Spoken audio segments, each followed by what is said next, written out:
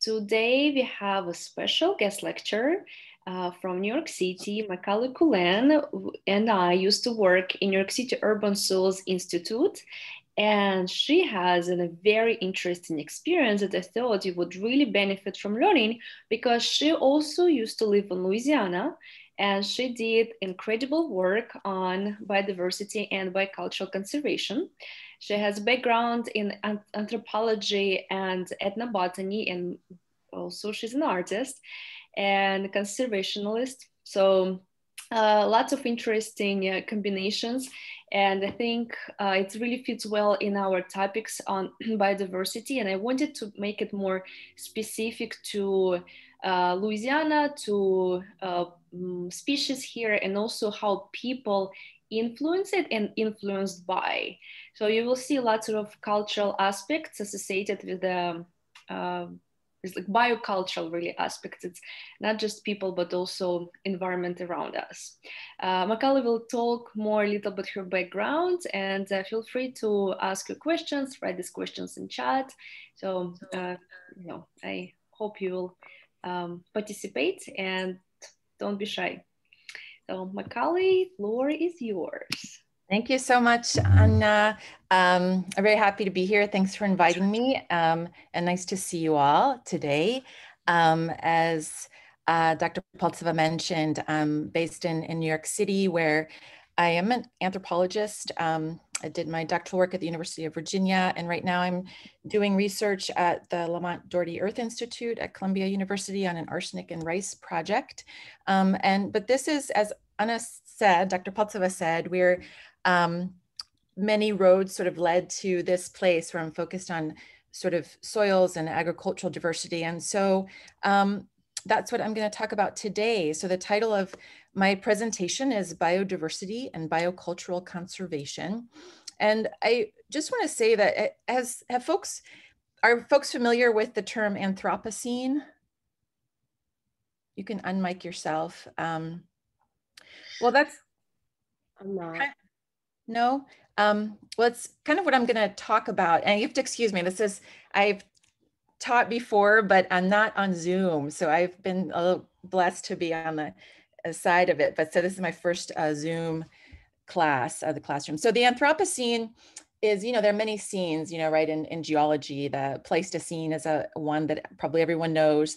And they're sort of markers in geological time, sort of artifacts in the record of our earth that um, are sort of contain inflection points, information about, that could be chemical, uh, you know, about um, particulate matter in the air, um, uh, microorganisms, um, and they're also artifacts. Know, archaeologists kind of um, move through the earth to kind of look at the different strata. And in any case, the Anthropocene is a massive inflection point from our own species because we've impacted um, the earth in such a way that we now have created in a very short time sort of an inflection point um, in the earth. And uh, there are different names for it, and you can kind of play around with the semantics. Some people call it the plantation Plantationocene, some people locate it um, in uh, kind of the rise of industrialization. But basically, we're living in a moment that's between the natural and social sciences. And through your career at University of Louisiana, Louisiana Lafayette and onward, you're always going to occupy that space.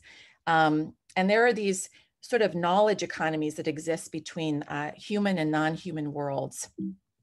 Um, what we're going to cover today are sort of this idea of biocultural conservation of food plants, looking at just kind of the sheer diversity of North America. That's the project that I worked on for many years with a kind of co-ran. It was a coalition of seven uh, national nonprofits around the United States where we documented North American agricultural biodiversity. I'm going to share some portraits of some of these foods that are endangered um, and the, their stewards, the communities out of which they come.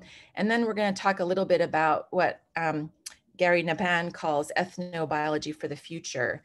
Um, and biocultural conservation, um, it's just, it's about environmental science and science in general being relational, um, our relation to the earth and the floral, flora and fauna and to each other.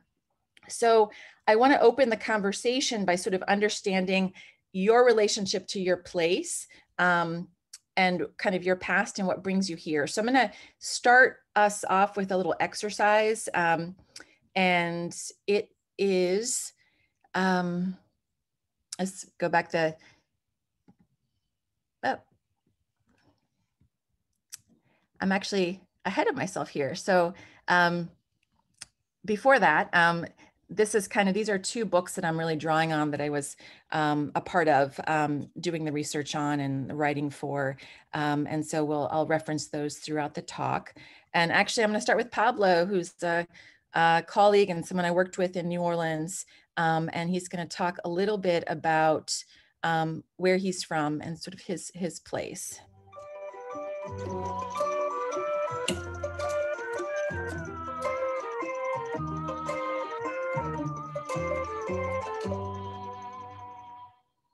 Every Monday night, or most Monday nights when I'm in town, um, I do a, I fill my table with at least 10 people. And it is not a dinner party, it is supper. It is not fancy, it is red beans, rice, and cornbread. In New Orleans, red beans is the traditional Monday dish. It has to do with the domestic rhythms of 19th century New Orleans, where the slaves and domestic workers knew that Monday was wash day. So Monday was the day that they had to do the wash, so they had to have a dish that they could put on a banked fire, put it in the back. Let's go on a slow simmer all day. Red beans were very easy. They were they were comparatively cheap, and they could also use the ham bone that was there generally from the Sunday the Sunday dinner. I have a pretty large oval table, oval dining table that used to be my grandmother's kitchen. Um, it was a table that my generation and my mother's generation grew up around. Um, not a fancy table. It's just like plain formica top, but it was just, it was, it's just a magical place. That table needs to be fed at least twice a week. It needs to have a lot of people around it. And that seemed to be a great excuse. You come for red beans and rice, bring what you want to drink. It's very casual. And because it's on a Monday, people are usually recovering from the weekend and they are looking for an excuse to just have somebody else cook for them and drink too much wine and then have a Tuesday.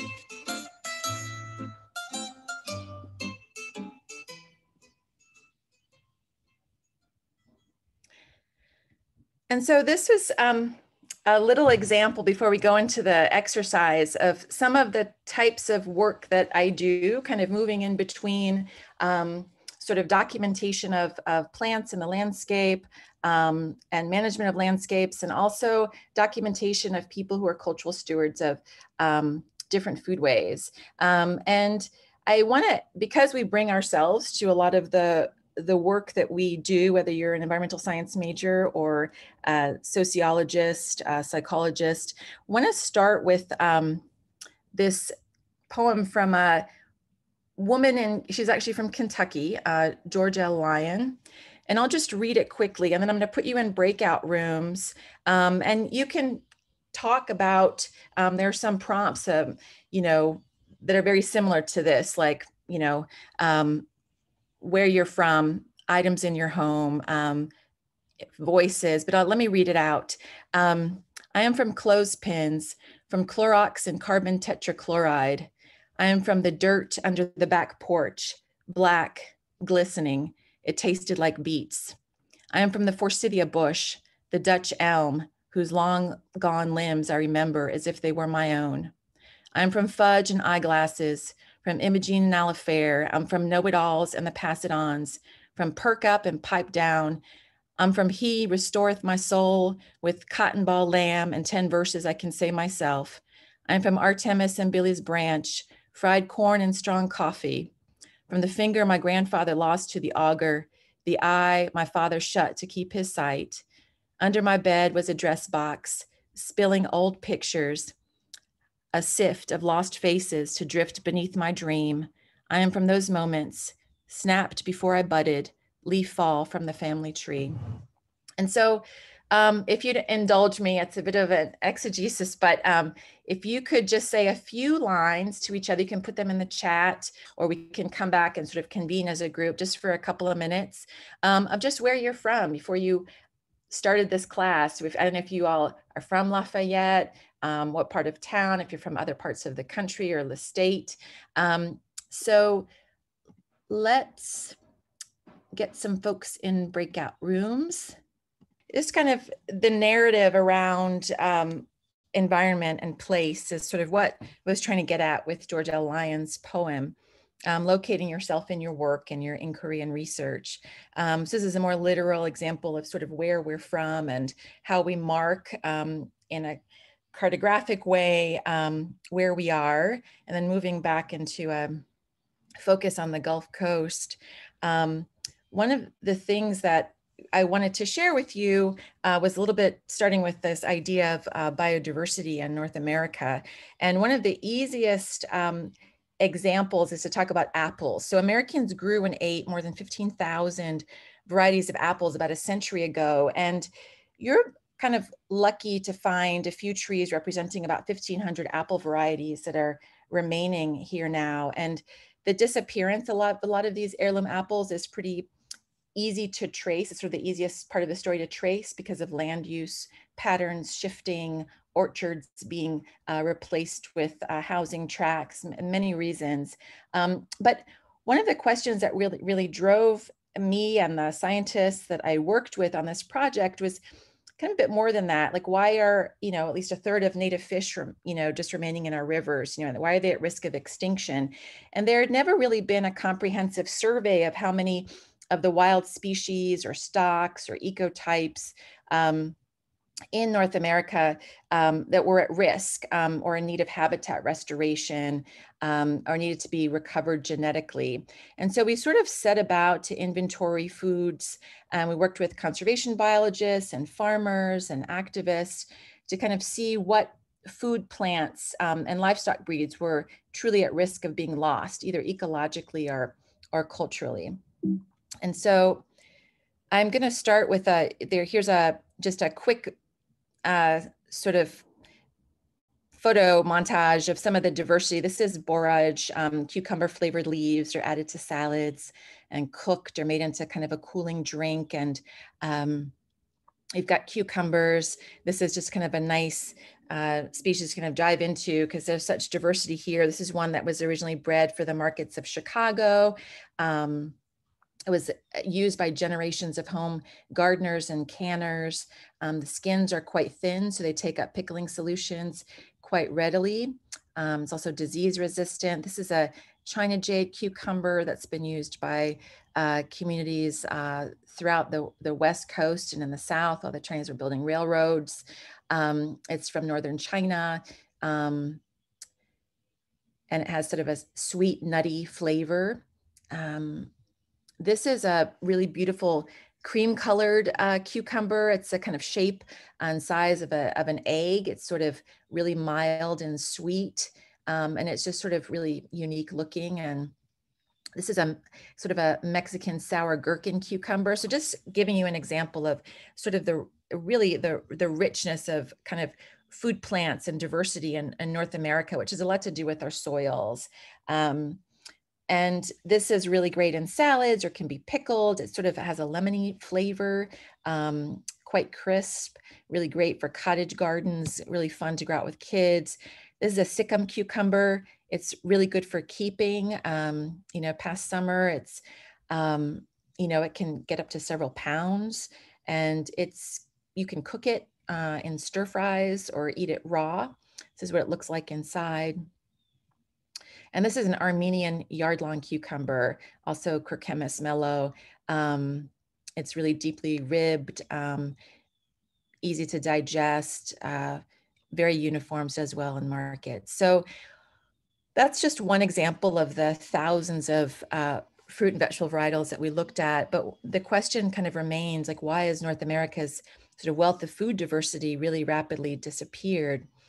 And when we spoke with people about why this was happening, um, we kind of looked at it as sort of layers layers of an onion. So as you peel off kind of the papery skin of an onion, um, one of the reasons we've lost a lot of our biodiversity here is that you can sort of see it. There are physical changes that have altered our soils and streams and, you know, rivers have been dammed. We all know that well the Mississippi, you know, inundating some ancient forests and cornfields while others are kind of starved for the moisture they required wetlands and valleys have been filled or paved, which increases storm runoff um, and contamination.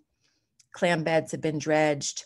And next layer um, of the onion, I'm going to keep that metaphor, is sort of the biological changes. It's um, they've occurred sometimes in tandem with the physical changes in the landscape. Other times they're independent of them. And so when I talk about biological changes um, to our biodiversity, I'm talking about weeds and diseases and parasites and plagues that have been introduced um, and have typically outcompeted or kind of consumed what people call natives or the established residents, the plants that have been here and adapted to the to the climate, the weather. And then we have genetically modified organisms that, you know, we have, you know, contaminated some of the open pollinated corn or um, wild salmon. And then you have algal blooms that have caused red tides that maybe overwhelm seagrass beds and slow the growth of, of uh, clams. Further inside the onion, and I'm going to just get through this onion and then we'll move on to some portraits. Um, you find another layer that's pretty hard to separate from the ones on the other side of it. So you have um, just kind of the disruption of ecological relationships. And that looks like pollinators um, and flowering plants um, are predators and their prey. So if you have say a nectar feeding bat or bee, you know, it, that's becoming scarce, the wild or cultivated plants that they pollinate and help reproduce will decline as well. And so you have this, which I'm sure you're all familiar with, this kind of cascading effects. And the same things happen with um, larger animals. So if predators are killed off, like wolves or mountain lions, um, as they've been in many places, um, certain herbivores like deer, elk start to proliferate to the point that they then damage some of the native vegetation. So everything just has a cascading effect, and we have, see these disruption of relationships, and then we see the loss of diversity in our grocery stores, um, and it kind of affects the nutritional status of of a lot of us. The next layer is that of genetic erosion, and that's caused by changes in land use practices, maybe changes in dietary preferences, um, some legal kind of regulatory constraints. Uh, and an example of that would be kind of maybe where a cereal producer, say in the Midwest, will be forced to grow just kind of a single hybrid variety because breweries, um, you know, customers demand a uniform product. Um, and so other varieties are driven towards extinction. And so this is where you kind of find this convergence of, you know, sort of marketing and sort of popular culture um, and sort of setting expectations about what kind of quality is or um, what value is. And there's a kind of um, reduction in sort of an appreciation of, of diversity. Say for cucumbers, for example, I should say how many of you all have seen those cucumber varieties in your store, how many cucumber varieties do you typically see? You see like long one, like an English hothouse or Kirby's.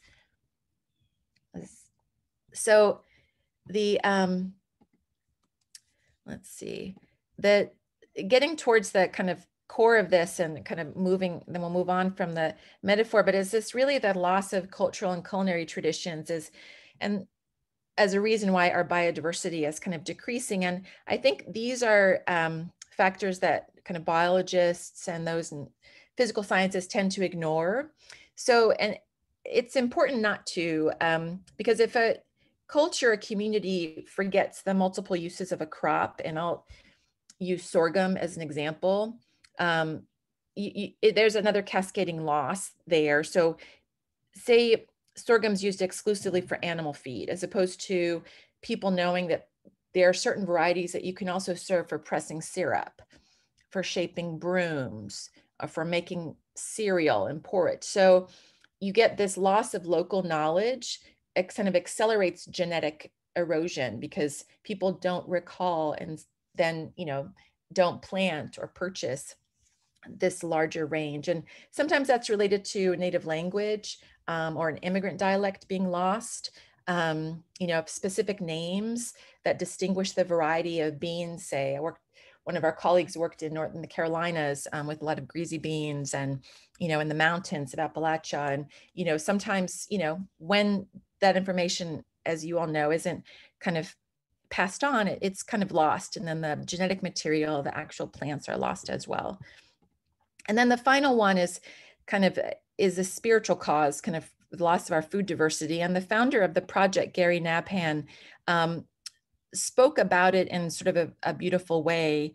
Um, you know, that when the stability of communities um, has been disrupted, there's also a high rate of, of habitat loss um, and, you know, farmland loss and loss of food diversity. And so he says the real bottleneck um, to the revival of native locally grown foods is cultural. Um, you know, if we no longer believe the earth is sacred or that we're kind of blessed by the bounty around us or that we have a caretaking responsibility, then it doesn't really matter to most folks how much ecological and cultural damage is done um, by the way we eat or if we butcher our own meat or harvest or grind our own grain. Um, what do you all think about that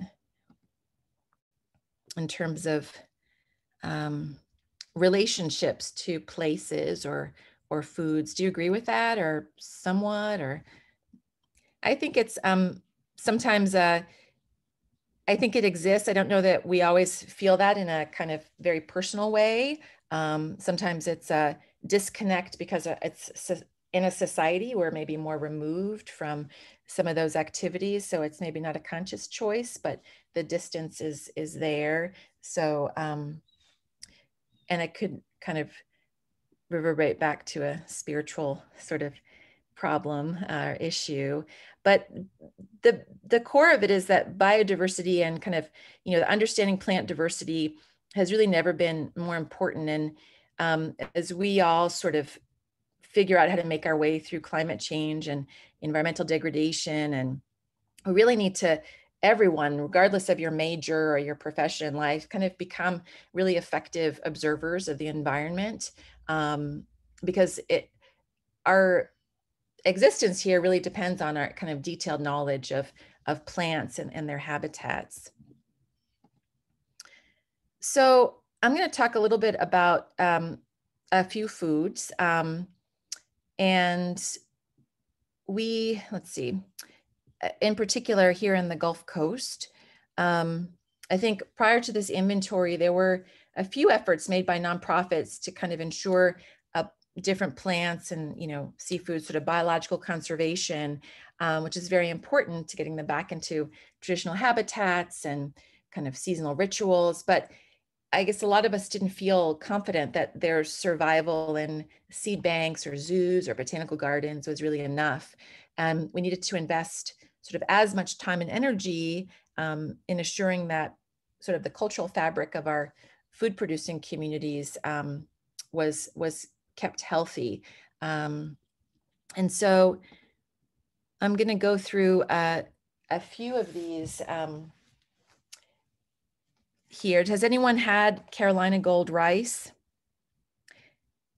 It's sort of a, since Louisiana's in a rice, you know, you all are kind of in a rice producing region. Um, I chose this one, even though it's um, on the on the East Coast. Sort of the grandfather of long grain rice um, in the Americas.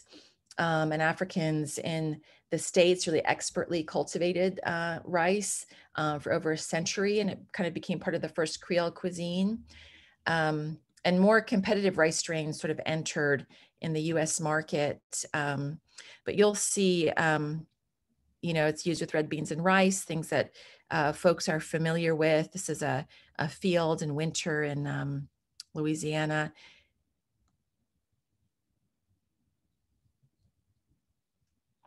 Um, clay field peas are um, another example of uh, kind of a food that was endangered, still is. Um, and we kind of uh, created these portraits around these foods to um, increase awareness uh, about them. This was first brought um, from West African uh, coastal communities um, to the West Indies, kind of in the Gulf Coast in the 1600s. Um, and it, um, it's related to sea island peas and black eyed peas. And uh, how many people on New Year's Day have black eyed peas or Hoppin' John? Anyone? Well, it's a it's a tradition. Um, the dry field peas are soaked so they can be eaten the next day, um, kind of to take up the good luck. Um, and it, the I, kind of the sort of saying comes from like children of the household are sent to hop around the table to just take up the good luck. Um, it's called pois pigeon in French speaking parts of Louisiana. Um, and uh, the term is now used for a combination of field peas um, rather than just the peas alone. Um, and it's uh, related to, you know, jambalaya, congri, and Creoles in New Orleans. Um, and I guess that this particular one, the kind of clay field pea, is one of the older types um, that is adapted to the South. Um, and it's a field pea plant that is a small bush that produces sort of um, sort of longish, narrow pods. Um, it's uh, kind of tan, elongated seeds. Um, and they just add a really dark, uh, rich color to the broth um, and just adaptable to a wide range of subtropical and uh, wet temperate environments. Um, and it's really only available in uh, a few seed catalogs right now, but it's a very integral part of our, our diets. Um, sassafras leaves for gumbo filet is another um, uh, food plant that we documented and, and worked to preserve. Is, um, is anyone here a, a gumbo fan? Cooked with filet? You can do thumbs up, guys. I see some of you write in chat, but you can also do thumbs up. Love gumbo. I only had one gumbo with shrimps. So a shrimp, I don't think it counts like a real gumbo, right? It is. If you're from New Orleans, right? Who Here, it is. I it in Louisiana. It is. Yeah, okay. I'm still emerging. I'm missing. I'm sorry. I'm just checking all the all everything in chat. I'm gonna leave my chat open.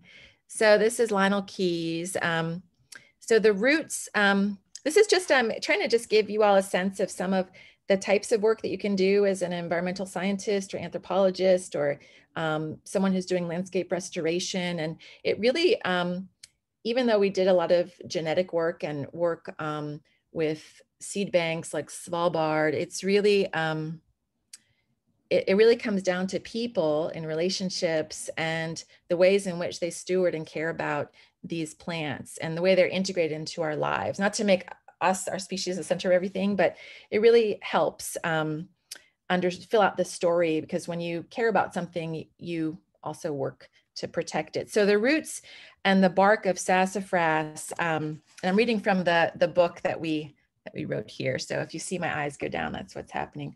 Um, but they've been chewed for a long time by Native Americans um, for medicinal and, and, and culinary qualities. And um, it has to do with an oil. It's a kind of secondary compound called safrole. Um, and they, you all know what sassafras plants look like, right? They're, they're super great. There's something very unique about them, about their leaves. Um, it's one of my favorite plants in the landscape. So they have on the same plant, different shaped leaves. Some are like a mitten shaped, like with a little thumb hanging out. Some have like, um, they're kind of um, kind of bifurcated and others are just like um, kind of globes. Um, and they've been used as a flavoring for root beers and gums and soups and soaps. Um, but the specific uh, use that we focused on here in, in Louisiana um, was as a thickener um, and a flavoring known as gumbo filet. And that's more restricted. I would say my family is from West Africa and also America, but it's uh, we have it there as well. But it's um, you know sort of very specific to this place, um, and so kind of filet is just you know French for the word thread, um, and it's just become part of sort of urban Creole cuisine. Um, it's a major, it's kind of essential ingredient, um, and it I think people trace it back to Choctaw communities in Mississippi and Alabama and Louisiana.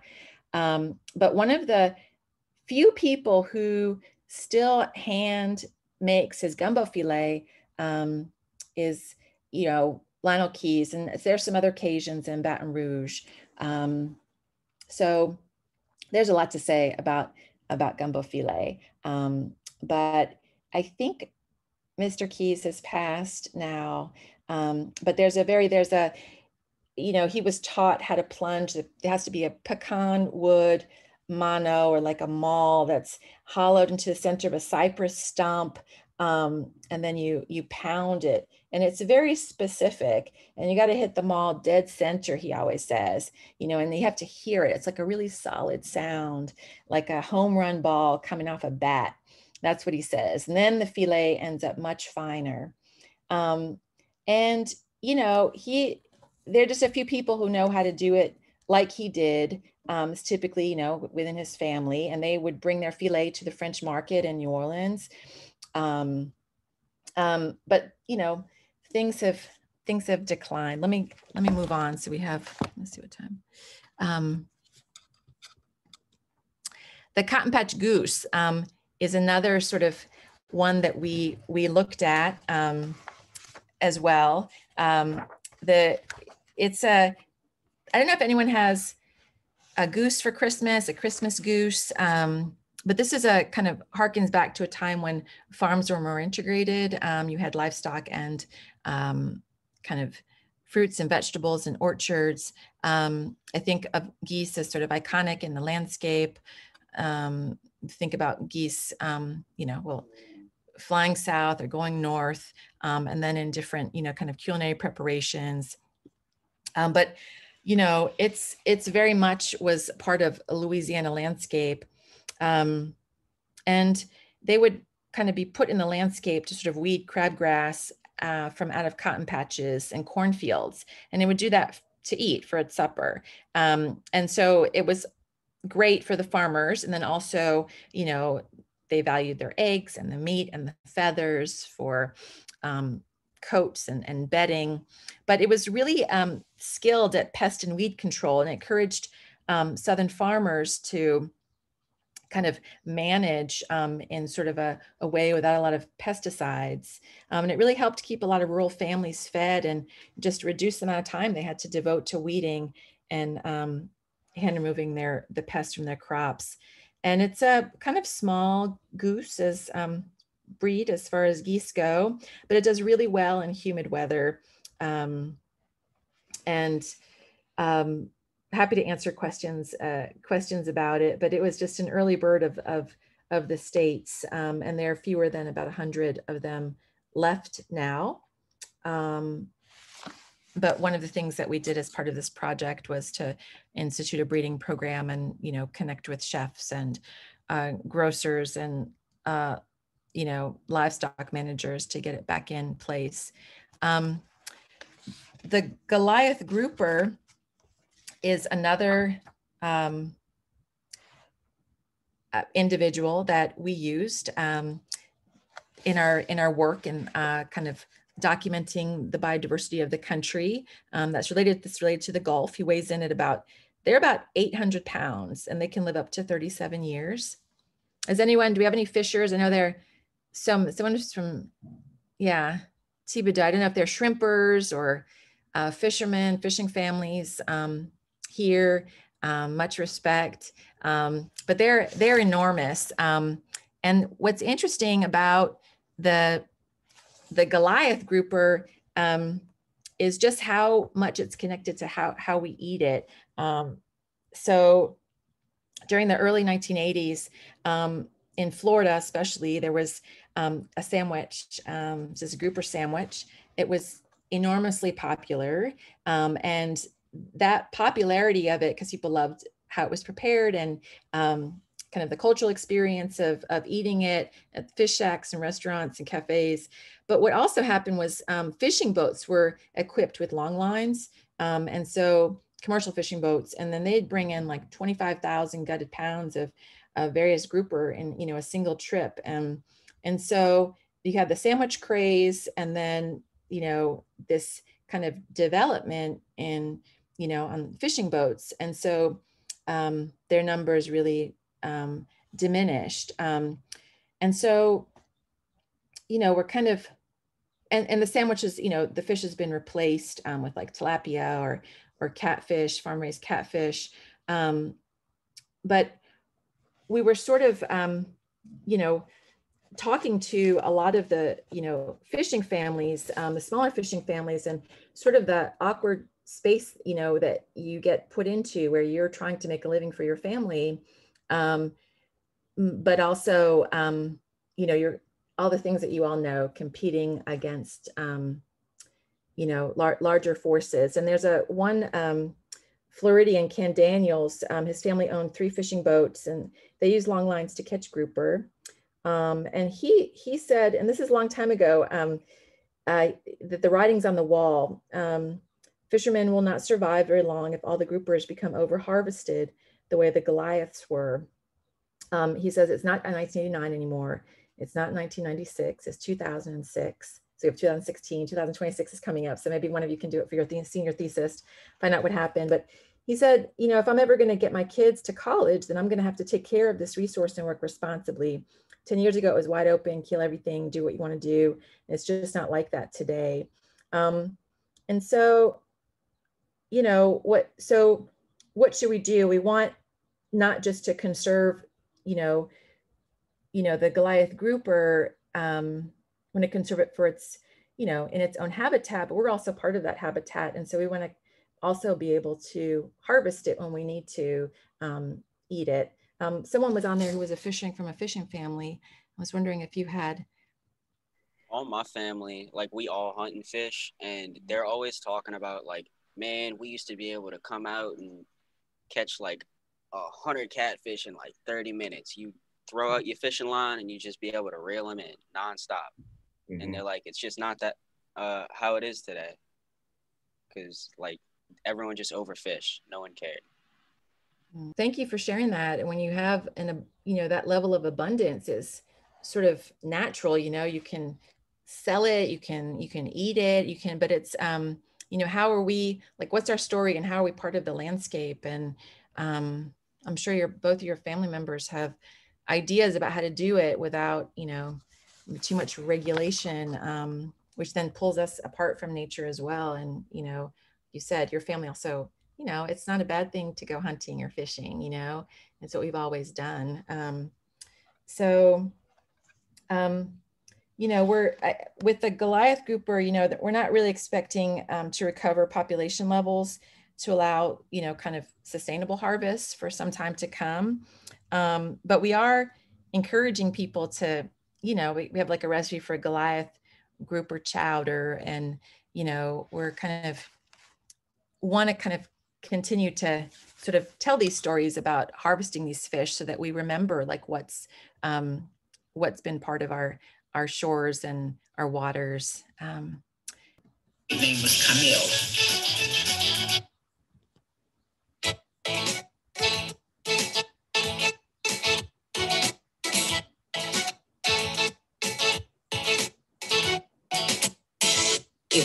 Spelled like Camellia the flower, but I'm named after my grandmother, and she was Camellia Marie Champagne, and our nickname was Camille. This is my great grandfather, Pierre Louis Champagne, and this is my great grandmother, Artemise Champagne. But I've got to say that I am Camellia, and that's why I know how to do this stuff it was really hard for the Acadians when they came down here because they were not farmers. They were they, they came from a coast where the majority of them were um, fishermen and lived off of seafood, and they had to learn what was indigenous to the area that they settled in, and that came from the the the free men of color or the slaves that escaped and settled, and and the Chitimacha. There's there's a lot of stories of where the name came from. The most predominant one, and the one I would I would tend to believe, it's it's an Indian name, and it's for uh, the like smothered corn, onions and tomatoes and bell pepper and and and garlic and celery. Those were um, vegetables that were common to the area, and um, corn was introduced by the Indians. In maque choux, we don't use celery, um, and in maque choux, I don't use garlic strictly consists of corn that you cut off the cob, and there's a system to cutting it off. You can't just shave it off. I know that there's these devices where you can cut all the, kernels off of a cob. You don't use that. That you do a three stroke, and then you turn your knife and what we call milking it to get the juice out of the, the corn. And um, um, green bell peppers, onions, and um, steamed tomatoes. These have been blanched. I'm quite sure you could use canned. I just don't. if you would buy a, a frozen cut corn or canned corn, it, it would be okay, but it wouldn't be the same. It's definitely seasonal. But we do put the corn up. I've got I've got corn put up right now. We use a blend of spices all the time. Also, with this dish that I do, it's strictly black pepper and and salt. That's it. Cajuns do not have hot food. True Cajun food is not hot. When we talk about seasoning, we're talking about seasoning onions, tomatoes, bell peppers, celery. The only difference from then and today is they they grow a hybrid sweet sweet corn that we use. Um, back then, it was just it was the early early corn that you picked first before you let the corn start to dry for to use it as as feed corn for the animals. And it's it's one of these comfort foods for for me and for a lot of my family and a lot of people I know. It it, it's like mashed potatoes to other people. So you don't you don't get fancy with it. You want it to taste like what your grandmother made. Where our mother never taught either my sister or I how to cook, it's sort of an instinctive thing. You don't have to follow a recipe. You know, you, if you get the gist of it, then you go from there. Mix that all in a bowl raw, and then you get your your cast iron pot or the heaviest pot you've got. You put a little oil in it, and when it's, I mean, right before it's going to start smoking, then you put it, you dump the whole bowl in there and you stir like crazy. Okay, here we go.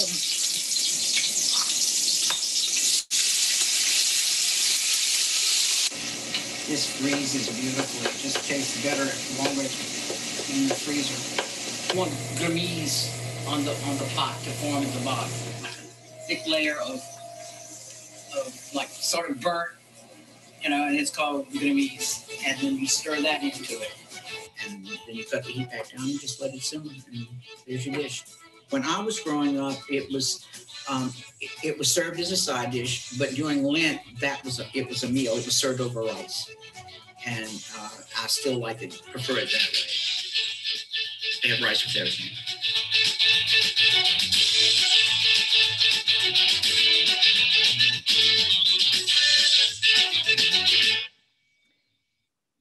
So um, that's something from the Southern Foodways Alliance who worked with um, to kind of another example of how um, we sort of fill out profiles of um, endangered foods. Um, did that ring a bell with anyone of kind of how being in the kitchen with, yeah.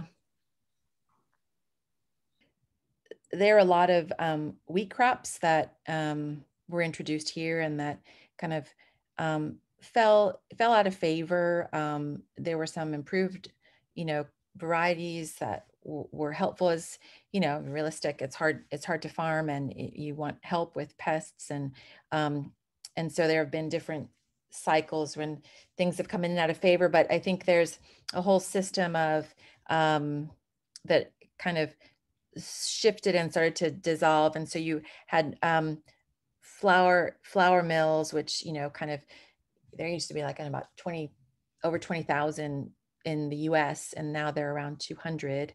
Um, you know, the, the Green Revolution, you know, it kind of transformed uh, the white Sonoran wheat into a, um, you know, kind of modified strain called Sonora 64.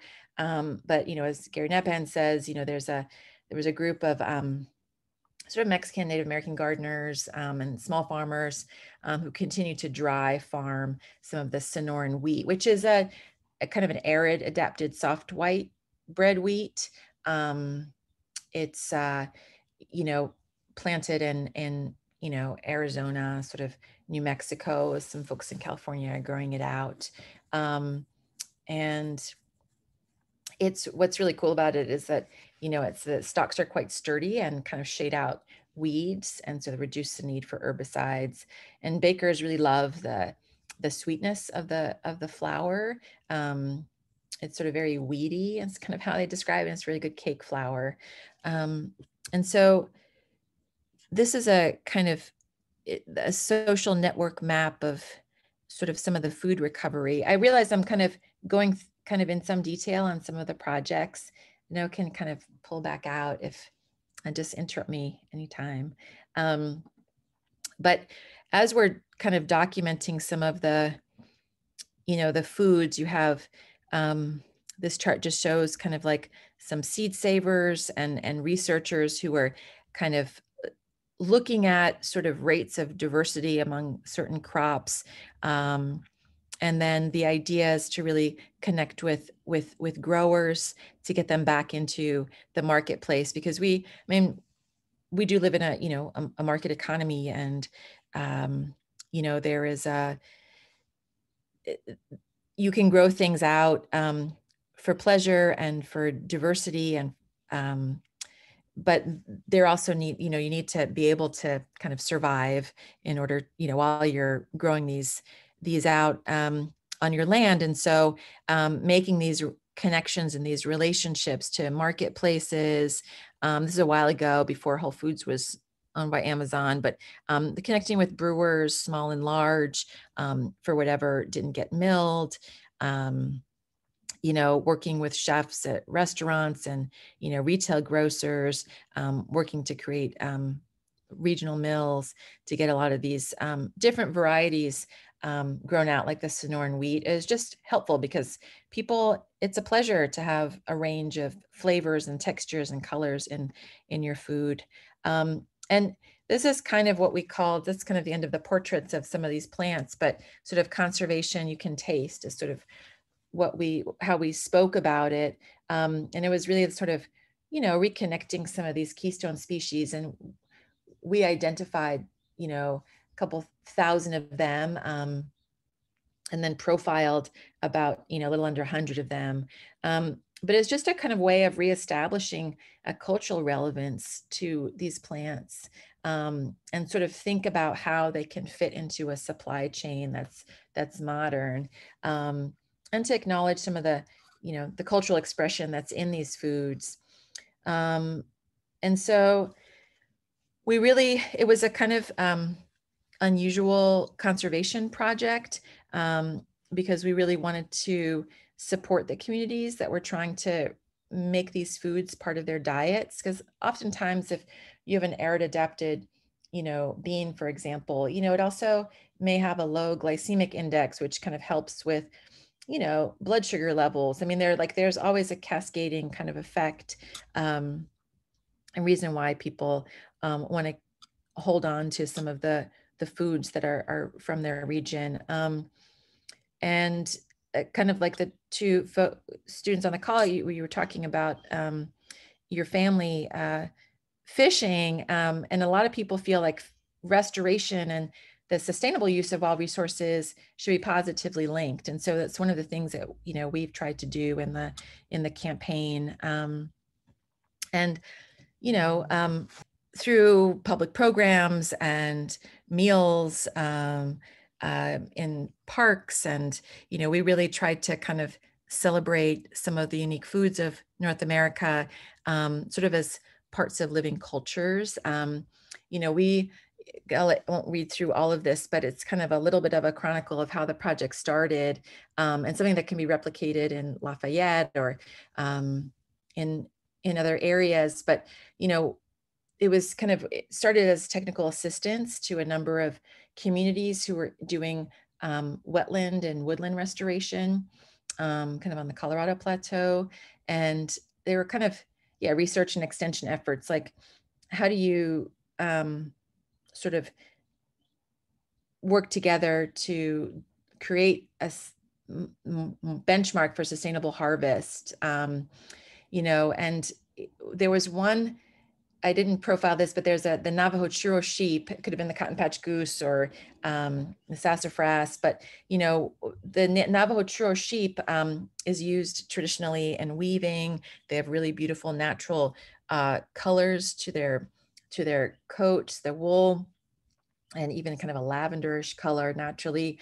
And you know, people were interested in using the sheep um, in projects to restore forests um, kind of reduce fire risk. Um, and, you know, and then so in reviving production of the sheep to do this kind of landscape restoration work, we also tried to, that group at Center for Sustainable Environments led by Gary Nabhan and a few great people, um, you know, decided also to kind of pursue niche marketing of some of, you know, churro lamb and mutton. Um, and so I'm, I'm, I feel like I'm talking a little bit too much. So let's, anybody want to jump in and any questions, let me know. But, um, you know, it's really, we're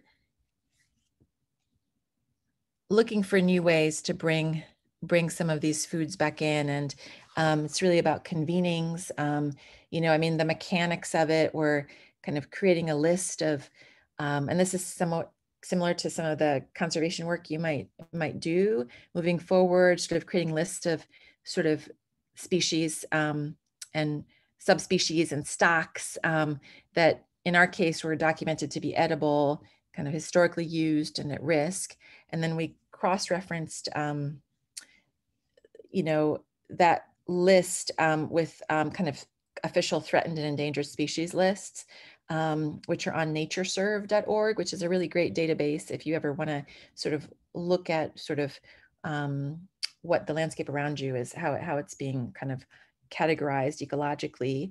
Um, and then we kind of targeted those species or subspecies that were that were ranked as kind of most at risk, and then sort of kind of looked at the plant taxa and compared those to kind of compilations of you know Native American ethnobotany and um, and then we convened people in regions and we had people in what we called gumbo nation sort of around the Gulf, um, salmon nation in the Pacific Northwest, um, and sort of asked them to review review some of the information with what they understood to be kind of you know regional regional practices. Um, anyway, it revising the lists and inventories, um, and um, creating profiles. Again, this is another one that's kind of closer to home. Let's see if we can get this one started.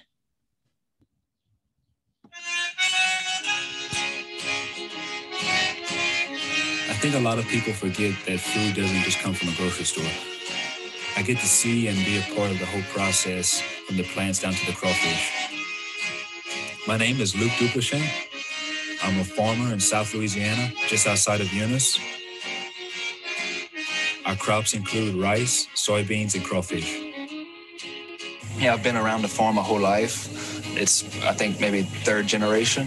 This has been uh, in the family. And uh, when I was younger, I would just ride around with my dad and my uncles. And then I started farming about 2004, uh, maybe a junior in high school.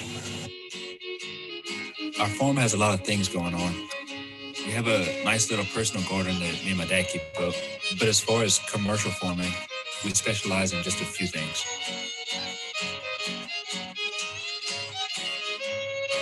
My great grandfather lived here. That's where he had his place. And he, his name was Cristobal Dupichin.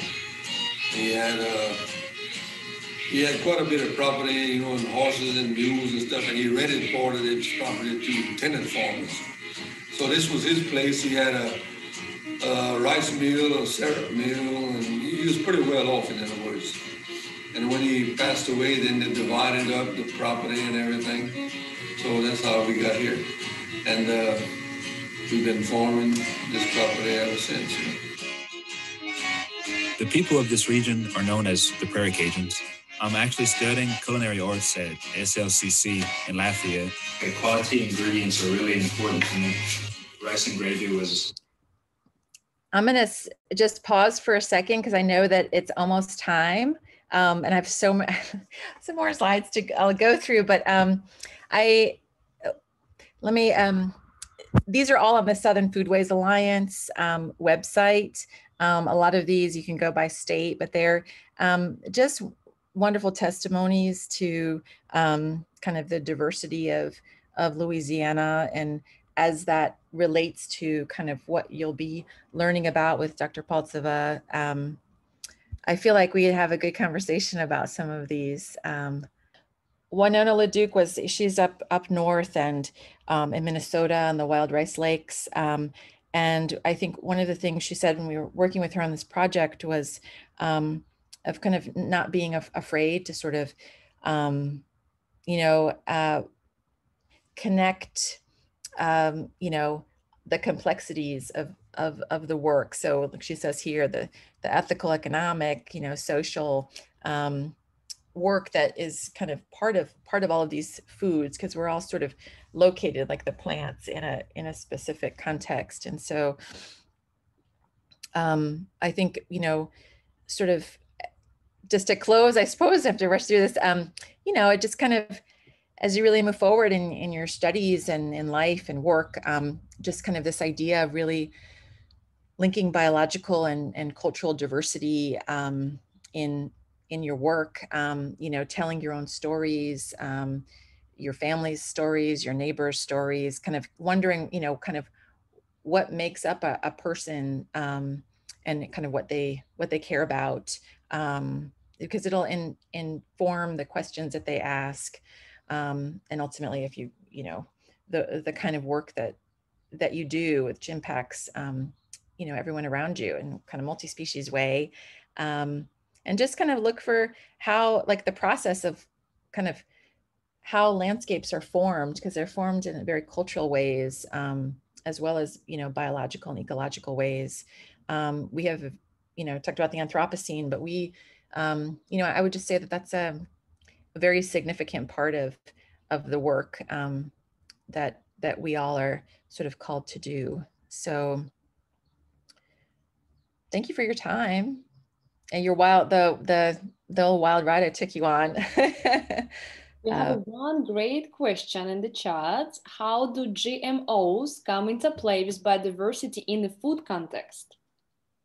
Yeah, that's a, a good question. I mean, it um, in in many ways, um, it it tends to, you know, I guess the short answer from kind of any call logical point of view is that it sort of reduces biodiversity. I think it gets more complicated when you speak with geneticists and um, and farmers as well who say that you know conventional breeding programs are just an earlier version of genetic kind of genetic modification of crops because humans since the start of agriculture you know 10,000 years ago we've been you know modifying crops um, for flavor profiles, for um, look, color. Eh, and so it is along a continuum, but I would say it's, um, you know, it's, it definitely reduces the biodiversity. I think it as there's an economic component to it as well, and that it has to do with kind of the reproductive